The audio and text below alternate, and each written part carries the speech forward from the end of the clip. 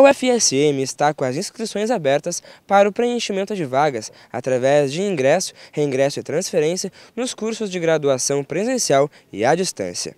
São mais de 2.200 vagas para os cursos presenciais nas cidades de Santa Maria, Silveira Martins, Frederico Westphalen e Palmeira das Missões. Já para os cursos à distância, são oferecidas 264 vagas em 26 cursos. As inscrições podem ser feitas até sexta-feira no site ufsm.br no link Editais. A taxa de inscrição custa 37 reais. Os candidatos que desejam a isenção da taxa podem fazer o pedido até quarta-feira na Pró-Reitoria de Assuntos Estudantis no térreo do prédio da Reitoria, das 8 horas da manhã ao meio-dia e da 1 até às 5 horas da tarde. Felipe Laude para a TV Campos.